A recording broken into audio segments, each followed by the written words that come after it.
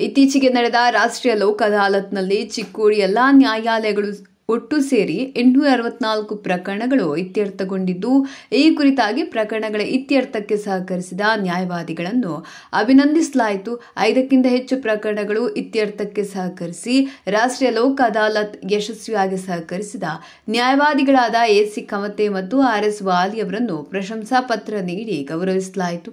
ಈ ಸಂದರ್ಭದಲ್ಲಿ ಏಳನೆಯ ಹೆಚ್ಚುವರಿ ಜಿಲ್ಲಾ ಮತ್ತು ಸತ್ರ ನ್ಯಾಯಾಧೀಶರಾದ ಎಸ್ ಎಲ್ ಚೌಹಾಣ, ಪ್ರಧಾನ ಹಿರಿಯ ದಿವಾಣಿ ನ್ಯಾಯಾಧೀಶರಾದ ಹರೀಶ್ ಪಾಟೀಲ್, ಪ್ರಧಾನಿ ದಿವಾಣಿ ನ್ಯಾಯಾಧೀಶರಾದ ಆರ್ ಎಚ್ ಅಶೋಕ್, ಒಂದನೇ ಹೆಚ್ಚುವರಿ ದಿವಾಣಿ ನ್ಯಾಯಾಧೀಶರಾದ ನಾಗೇಶ್ ಪಾಟೀಲ್, ಸೇರಿದಂತೆ ಚಿಕ್ಕೋಡಿ ನ್ಯಾಯವಾದಿ ಸಂಘದ ಪದಾಧಿಕಾರಿಗಳು ಸದಸ್ಯರು ಉಪಸ್ಥಿತರಿದ್ದರು.